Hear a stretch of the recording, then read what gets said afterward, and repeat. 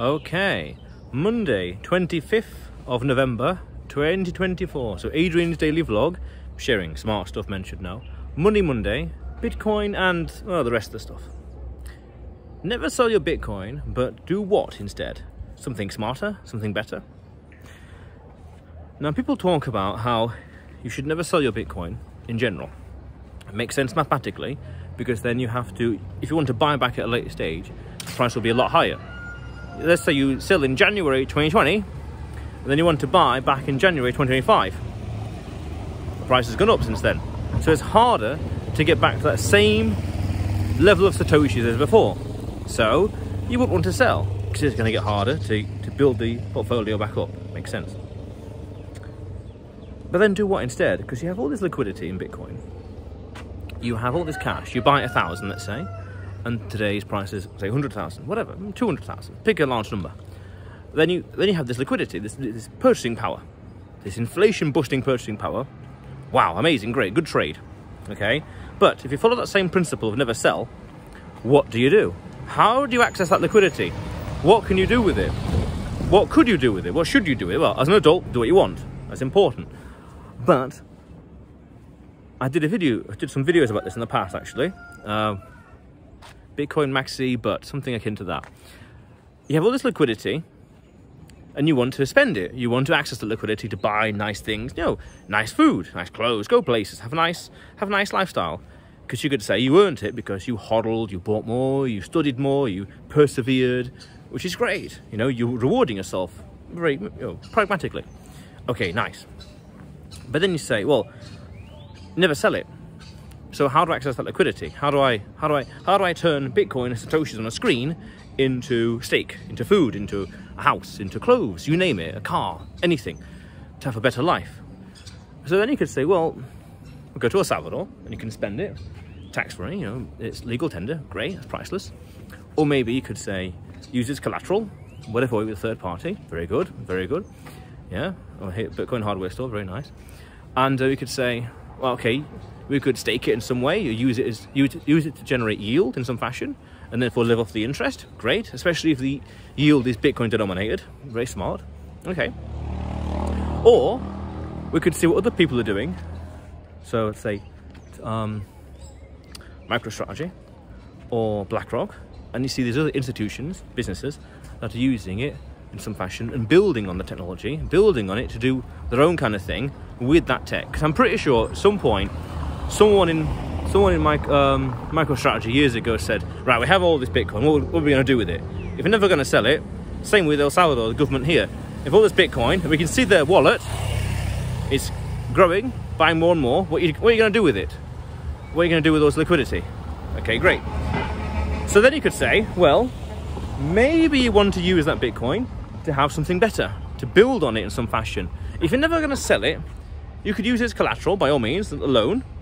Or if you do sell it, it you have capital gains. Or if you're here, there's no capital gains here. It's just just transactions as usual. Uh, or um, again, stake it and have some, have some yield on it. Great. Especially if the market is getting, as the market is getting higher and higher, the market is getting deeper. Great. Or build on top of it. Do something with it, like what MicroStrategy is doing. And then, like, say what Big um, BlackRock have done, where they're just basically getting the fees from it, hodling for people, their customers, and getting a fee. And what MicroStrategy is doing it, doing with it with regards to volatility and the options in their their stock. Great, a Bitcoin oil refinery, so to speak. Amazing. And I'm pretty sure places like Microsoft will have this same discussion as well. They'll be thinking, if you're going to buy it, what are you going to do with it? What's going to happen with it? What are you going to do with it? And Apple will have the same discussion as well. And they'll probably integrate it somehow into the Apple Pay. Great. If, the, if people are never going to sell it, what are they going to do with it to access that liquidity, to earn off it, to, to earn more Satoshis? How are you going to square the circle of you got all this purchasing power, but you want steak, You want a nice car? You want a nice house? Okay, great. So what are you going to do? Hmm, fair enough. Okay, now, and we're seeing that already. We're seeing these companies doing it. And then you can go one step further. And remember how there was talk that MicroStrategy outperformed Bitcoin in a certain time frame. Interesting. I have a hunch then, as more companies are using Bitcoin in some fashion on a Bitcoin standard, using the technology in some fashion to build on it, to do stuff with it in their own technique, in their own method, in their own specialization. All right, fair enough. In their own way. Okay. Then we're going to see more companies that are going to outperform Bitcoin because it's Bitcoin and something else. The, if Bitcoin is a new hurdle rate, they're going to be Bitcoin and something else. They're going to be using it, they're going to be riding that fastest horse in the race. They're going to be riding it and doing other stuff with it. So I think in the future, I won't be surprised, 15, 30 years from now, there'll be more companies, countries, you name it, that are outperforming Bitcoin because they're doing something with it.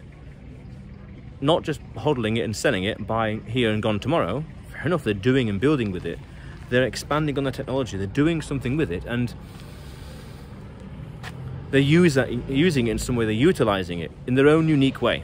I'm sure Facebook in the year in the years to come will be using it in some extremely unique way in their own ecosystem.